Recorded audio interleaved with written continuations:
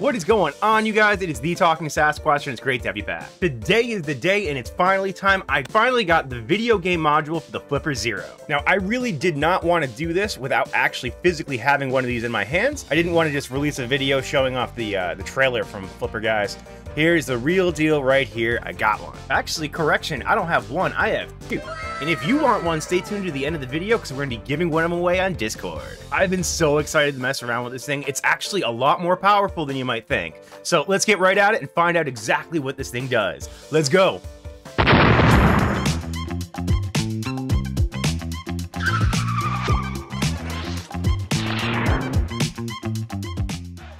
All right, so right up top, I actually want to point out that this thing I technically already covered in a previous video. You may remember back in the Flipper Nano video, I showed off a whole bunch of prototype PCBs, and this is one of them. I just had no clue what it did. Now, before we get into unboxing, let's take a look at Flipper's press release so we know what we're looking at before we get into it.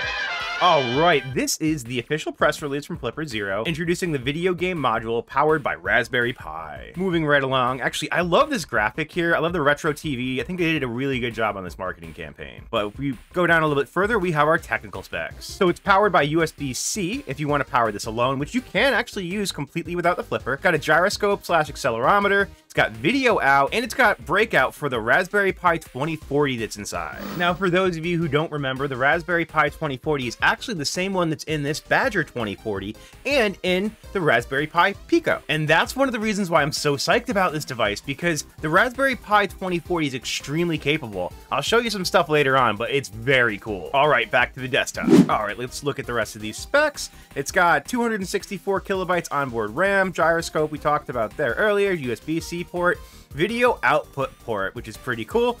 And they don't seem to have the proper license to call it HDMI, so right now they're just calling it a video out port. And then of course we've got boot and reset buttons. That's going to be for installing custom firmware directly to the Raspberry Pi itself. So if we keep moving, they're going to talk about the video out port. No big deal there. We know what that does more not HDMI. It's got a status light on top, nothing fancy. The gyroscope and accelerometer, I'll show you that later, but this is really cool. And then there's pass-through for the Raspberry Pi itself. And by pass-through, that just means that you can actually control the Raspberry Pi independently of the Flipper Zero, so it can be its own standalone unit. Oh yeah, also, I'm not gonna go into this in this video, but check out Derek Jamison's channel. He goes over all sorts of cool stuff, including the oscilloscope or the game module itself. Let's see, you're gonna talk about the Air Arkanoid, I can never say that. Air Arkanoid game, we'll show you that later. Airmail, show you that later.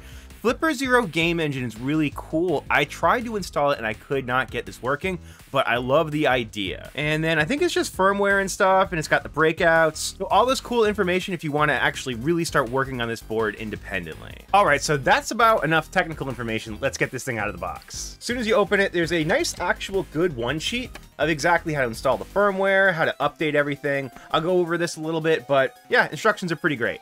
And then we have the game module itself. Got a little finger hold to get it out. This is the Flipper Zero game module. All right, let's take a closer look. You can see the breakout port for the Raspberry Pi is right there. Let's get closer to the camera here.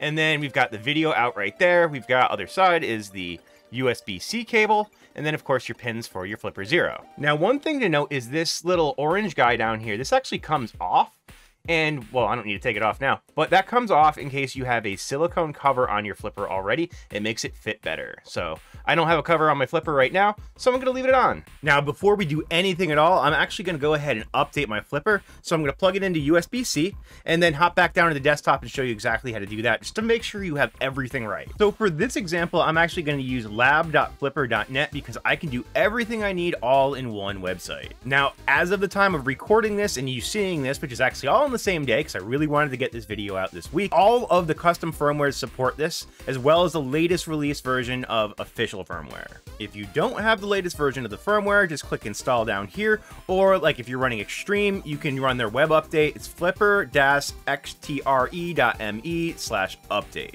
Now, once you have everything updated to the latest version of firmware, all you're going to want to do is make sure that you have the apps that you need. The Air Mouse and Air Acno Arachnoid, whatever that game is, I'm never going to remember how to say it, but those are not currently in the release version of XFW. I believe it's in the dev version, so you might have to install it. And if you have to install it, it's just this easy. Click on apps down here, and you'll see probably all the way up near the top, you're going to get Air Arachnoid and the Air Mouse. As you can see, I've installed both of those. So if install is an option, just click install and it'll put them right on your flipper for you. Super easy. Also for the official firmware, you can install the video game module firmware right here as well. I honestly haven't tried this on official firmware yet, but if it's not working when you plug the board in, as I'll show you in a second, just download the video game module firmware, should work just fine. All right, so let me close out of labs, and then I'm actually gonna open up QFlipper so you can see on the screen what it looks like while I plug it in. Okay, so here we have QFlipper open, and as soon as I plug the board in, you're gonna get a brand new message that you've never seen before, which is the video game module initialized.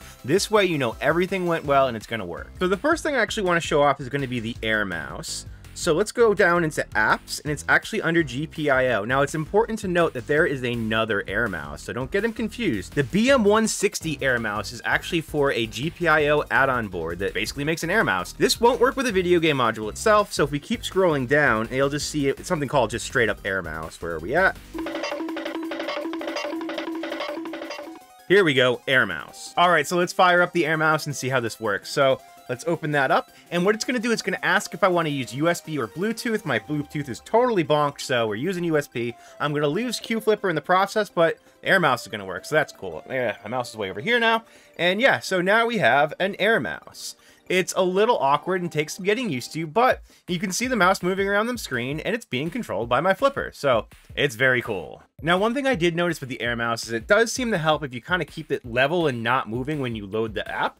Uh, I think it kind of calibrates when it first loads, so just do that, and then you can kind of control things a lot easier. To the same point, if you're still having issues, just try to unplug the board, plug it back in, but leave everything nice and flat and not moving when you plug it in. All right, so let's go check out this game. So let's go back, go down to games, and we're gonna do Air Arachnoid. Air Air Air Arachnoid. Or Arachnoid? Again, I can't say this. So let's fire this up. All right, so let's see what this looks like. Let's fire it up and go to play. Oh shoot, you can't see it on this on QFlipper.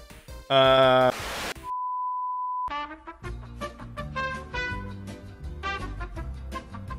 So yeah, apparently you can't actually output to QFlipper on the USB while that game's being played, but guess what? It's got an HDMI port, so we're gonna use that and try that instead. But you know what does work is this segue to today's sponsor. OwlSec. I mean, they're not really a sponsor, but we didn't have a sponsor for this video, and I wanted to give a huge shout out to Serho at OwlSec. Serho's an amazing creator, and what they got going on in their Discord is absolutely awesome. If you want to learn anything about ethical hacking or CTFs or anything like that, it is a fantastic community. Everybody's out there helping you guys learn. So check out their Discord, link down below. Let's get back at it.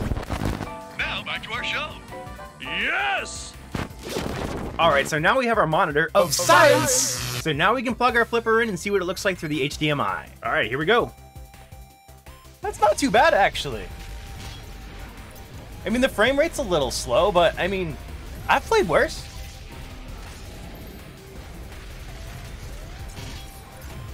All right, so obviously it's not going to play 4K AAA games, but let's plug it in and actually see what it does. All right, upside down. Hey, that's actually, that's super cool. I love this. Is it a little silly? Yeah, but I mean, this thing's so much fun. Let's play some Doom. Yeah, it's just as bad as it always was. Oh God, it's so laggy, it's unplayable. Let's try Flappy Bird. There we go. Fatality. Now we got the game of life playing itself over there. If anybody knows how this game actually works, let me know down in the comments. I've, this game's been out forever, and I honestly have no clue what it is. Now, I did try the Air Arachnoid game again on the HDMI, however, that didn't work either. I'm not really sure what's going on. I saw Derek Jamison use it, so I'm not sure if there's a mismatch between the firmware or what, but something's a little weird. Alright, so as I was saying before, one of the reasons why I was so psyched to see this project come out is the fact that this thing's running on the power of a Raspberry Pi 2040. And while the Flipper can't play Doom, the Raspberry Pi 2040 certainly can. So here's a video of somebody playing Doom 1, actually they're playing the demo of it, on a Raspberry Pi Pico, which is, as we said before, the same 2040 that's going to be inside this board. I know Coco Code and Zardos both said that they were interested in trying to get this support over. I know Coco Code wants to use UART to use the controllers for the flipper to control Doom. That would be so cool. There's a ton of other projects too with the Raspberry Pi 2040, so the possibilities are pretty much endless. So that brings us to our giveaway. So do you want your own factory sealed video game module? This isn't the one I use. I got one just for a giveaway. Well, get this video to 10,000 likes and we'll do a giveaway. Yeah, no, sorry. No like goals, no nothing. We're doing it anyway. Just join up on the Discord link down below, hop into the announcements channel right next to this video, and you'll see the giveaway bot. All you gotta do is click on the emoji underneath it, and you'll be entered. Now, I do need to limit this to continental United States, especially not Canada. If there's any Canadian police here, you have to tell me, otherwise it's entrapment. So hop on over the Discord and make sure you don't miss out. Thank you guys so much for watching. Make sure to like, comment, subscribe, turn on notifications. That stuff helps me out a ton. You guys are absolute legends. We'll catch you next time.